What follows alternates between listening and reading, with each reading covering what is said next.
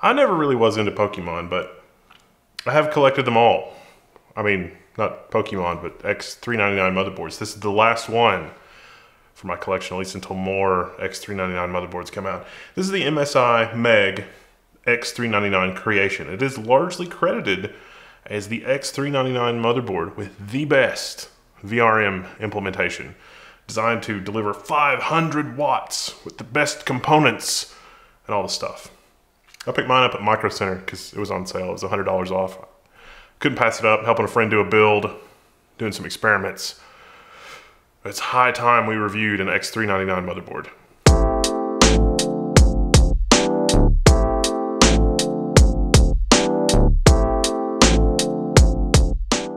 All right, so what's the rundown on the X399 creation? MSI has uh, a lot of motherboards for a lot of different platforms. I mean, Intel, AMD, X399, X399 is, you know, 16 to 32 cores.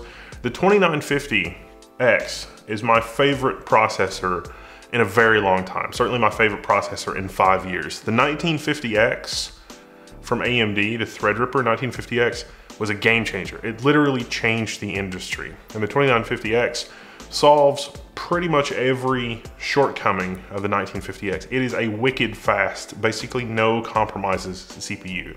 You don't need a motherboard with the ridiculous overkill VRM that the Meg creation has to really let a 2950X stretch its legs.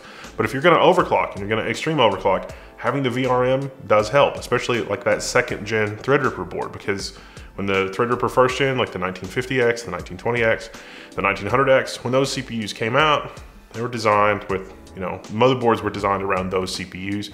And, you know, AMD being very good about backward compatibility, the 2950X, the 2920X, and new 24 core, 2970, WX and 2990 WX, those are like workstation parts with even more cores.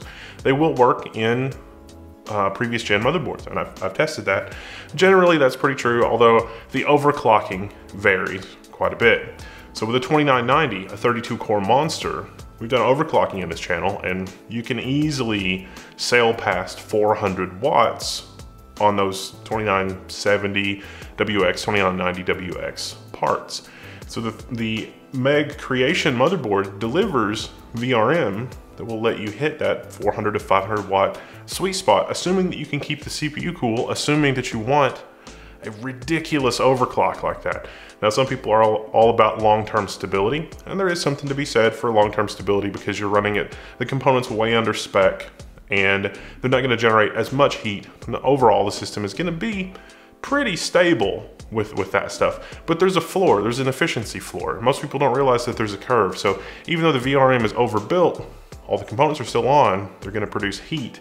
And so there's sort of a floor there. If you look at it on power supplies, it's pretty similar. You can look at a PC power supply and it's like, it's 90% efficient, uh, you know, a given power supply would be 90% efficient when it's drawing around, you know, 400 watts, if it's say an 800 watt power supply. And as the, the load goes down, it gets more inefficient. And as the load goes up, it gets more inefficient. And the more inefficient it is, the higher the percentage of the energy that goes to heat production. And so that's kind of true on motherboard VRM as well. That said, this is a top-notch implementation in terms of VRM. It'll have no problem with the 2990. You can overclock like crazy. If you do run a 2950, it's not really gonna give you any more clock speed out of a 2950 because AMD does an excellent job bending those and with technologies like the Precision Boost Overdrive, um, the CPU is basically auto overclocking itself if you're using those features anyway, and as long as you can keep it cool, you're gonna get great performance out of it, and it's not really gonna need 400 watts. Now on the 2990, you can run it like four gigahertz on all cores, 32 cores. That's gonna drink a lot of power. Heat's gonna be an issue. So it's not as true on the 2990 because you get more out of overclocking the 2990, especially if you're using the Linux platform than the 2950. But the 2950 does a great job out of the box balancing single thread or lightly threaded performance and something that could use actually all 16 cores. But that's enough about Threadripper. Let's talk about the features of this motherboard. It's got a pretty good PCI Express layout. It's by 16 by 8 by 16 by 8. We've got two M.2 slots that are hidden under this, this heatsink thing. If it were me, I would probably just take the heatsink off and run without it. But if you do have a heat, if, you do have an M.2 that is gonna benefit from having a heatsink, well, there's certainly plenty of thermal mass there to take care of that. There is a single PCI Express by one expansion slot right below the video card, which is you know, or right below the primary by 16 slot, which most people would put a graphics card in, but you could put it in one of the lower slots if you wanted to have a little bit more peripheral I.O. Unlike most X399 motherboards, none of these PCI Express lanes are connected through the chipset, which would be PCI Express 2.0 lanes. All of these are wired directly into the CPU, and of course our M.2s are wired directly into the CPU. In terms of fan headers, this motherboard has a plurality of fan headers. We've got four fan headers across the bottom, Five if you count the one in the corner, one up here near the bottom of the VRM around the memory, which is great for rear exhaust. And we've got four in the upper quadrant of the motherboard now. In terms of the motherboard actual power plane delivery, we've got two 8-pin connectors. A single CPU 8-pin connector, of course, can deliver 400 watts, 350, 400 watts, something like that. Two of those will give you 800 watts. There's also an additional Molex connector on the bottom of the motherboard that will provide supplemental power to PCI Express peripherals. If you are running like four graphics cards off this thing, you would be in a situation where uh, each graphics card is drawing 75 watts. But the PCI Express layout makes four graphics cards problematic because this slot being right next to this slot means that you can only run graphics cards that are single slot. I mean, for a workstation card, you know, maybe like the 7100WX Radeon, I mean, single slot card, it would be fine, but this PCI Express slot layout, maybe not the best if you, if you were gonna try to run four double height peripherals. At the bottom edge of the motherboard, we've got another fan header that's hiding our MSI overclock button knob thing where you can turn it up to 11 and that'll load some presets. Although with Threadripper, I think you'll do a better job sort of finding the sweet spot, not just for your CPU, but also your cooling solution and all the peripherals and stuff that go with that. Depending on what your particular setup is, you'll really have to dial that in. Got two USB 2 headers, the front panel header, a TPM header, the fan headers I was mentioning before, and you get two external analog temperature inputs, which are included in the box, which is a nice touch. There's actually a lot of accessories in the box. We'll talk about that in a second. Got our RGB header, and of course our front panel audio header. At the front edge of the motherboard, we have one USB Type-C header, two USB 3.0 front panel headers, so you could have a total of five front panel connections with this motherboard, and eight SATA 6 gigabit per second ports. Some of those are from the CPU, some of those are from the chipset. We also have a physical power and reset button, as well as a LED readout for status codes and that sort of thing. It's nice when you're troubleshooting, something's not going right, something's not posting or working or, or whatever. In terms of motherboard layout, with the VRM, it is an unusual situation. And so memory compatibility was one of my concerns because most Threadripper motherboards will lay the VRM out to the side, generally away from the memory, not really a big deal. The VRM here goes all the way across the top of the motherboard.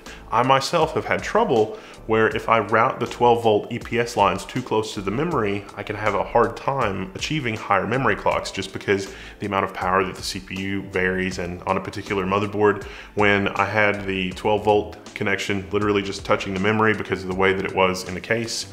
It was not perfectly stable and I'm not sure if if moving the cable or just something shifted around in the connector, but when I relocated that 12 volt connector, because I took the motherboard out and put it back on my test bench and it was stable, and then I put the motherboard back in the case and it was unstable again, and this was repeatable. It was an interesting situation, not with this motherboard, but as a result of that experience, I always route the 12 volt cables away from the memory if I possibly can. So to help us test that out, some ADATA, 3200 megahertz memory. We're gonna see how that runs. At the rear of the motherboard, we've got 10 USB connections, uh, eight of which are USB 3.0, 3.1, Gen 1, 5 gigabit per second. Two are USB 3.1, Gen 2, 10 gigabit per second, one of which is a Type-C. We've also got two Intel gigabit NICs. We've also got a clear CMOS button and a BIOS flash button. The BIOS flash button is important. Now this motherboard came from Micro Center, but very strangely, the motherboard would not post when I first turned it on, and it turned out because it was because it had like a launch day BIOS that somehow didn't support second generation Threadripper CPUs.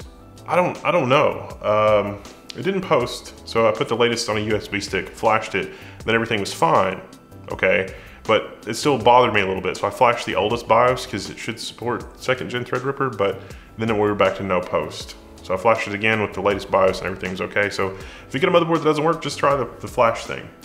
Now, in terms of complaints, about this motherboard, really, after testing, I only have two. One, the rear I.O. shield. As much as this motherboard costs, or normally costs, the rear I.O. shield, I think should be built in. It's pretty premium, pretty standard on premium motherboards these days. Second, there's no 10 gig network card. A lot of the other premium Threadripper motherboards from other vendors include an Aquantia NIC or have Aquantia NIC uh, having Aquantia NIC built in. We've got dual Intel gigabit here, so I'm gonna have to use one of my expansion slots for a 10 gigabit adapter, which is fine, but for the cost of the motherboard, a solution a little better than dual Intel NICs would have been appreciated. One other note, using SR-IOV on the AMD FirePro S7150, I couldn't get that to work because of the PCI ROM bar space, but I am working with MSI on that. I'm hopeful we will get that fixed. SR-IOV for network cards works fine, but for graphics cards with SR-IOV enabled, uh, and you've got an SR-IOV graphics card like this one, the system won't post. And the error message seems to be that it's out of PCIe ROM bar space. In terms of Linux support, MSI has been very good about supporting Linux on Threadripper. They generally get the UEFIs up and out the door. Sometimes the UEFI is not fully ready, not fully tested, but from what our users report on the level one forums, MSI has been very good about providing beta or test versions of the UEFI to Linux users that do run into any problems. My experiences with Linux have been great, so we're basically at an A plus situation in terms of Linux support. Now in terms of IOMMU, the IOMMU groups on this motherboard with the latest BIOS are pretty good. You've got pretty good device isolation. Of course, everything that goes through the chipset is gonna be in one IOMMU group, but since all the expansion slots go directly to the CPU, you're in a pretty good situation in terms of IOMMU coverage. Also in the box, you've got this really crazy M.2 MSI Arrow extender. It looks like a graphics card but it's actually a PCI Express by 16 breakout card for four PCI Express by 4 M.2 interfaces. So if you want to run some crazy RAID 10 with four M.2s, you can, and it's gonna be insanely fast. I mean, it's a PCI Express by 16 connection to your storage. So you could run that in the in this slot and run your graphics card in this slot, and you're using 32 PCI Express lanes just between your graphics card and storage. Sort of a monster system. So if you are thinking about building a system around this motherboard and you're thinking about the 32 core CPU, currently Linux is the best first class experience with that CPU. I just got the Windows Fast Ring update about three days ago. This is uh, basically the end of April 2019. And I got the Fast Ring update from around the end of April 2019, and it still doesn't have a fully fixed scheduler that will solve problems with applications like Indigo. There's an improvement, but it's not a dramatic improvement. We go from like 2.0 to 2.6 when we should be able to score about 3.0 to 3.1 with the 2990 WX Threadripper. Now I'm gonna build a system around this motherboard. I'm helping a colleague put something together. I think it's a bit loud in here. If only it could be quiet. Yes, I'm not really sure. I reached out to be quiet about a question that I had about the Darkbase Pro 900. So I actually got a Darkbase Pro 900 Rev 2 and we got to talking about all-in-ones versus tower coolers. And with TR4, you know, there have there are all-in-one coolers for TR4, but there have been some pump problems with them, like first generation, but then the second generation, I don't know. But Be Quiet actually has a TR4 cooler for Threadripper. So I want to put this, this is, you know, turn 50 watt TDP. We're not gonna, I mean, it's the Meg creation. We're gonna try this cooler and we're gonna do a build in the Dark Base Pro 900 and we're gonna see how that goes. For that, you're gonna have to wait for the next video. I'm Wendell, this is level one. This has been a quick review of the MSI Meg X39 creation. I know I'm a little late to the party on the, the motherboard, but hey, it's on sale at Micro Center. Couldn't pass it up.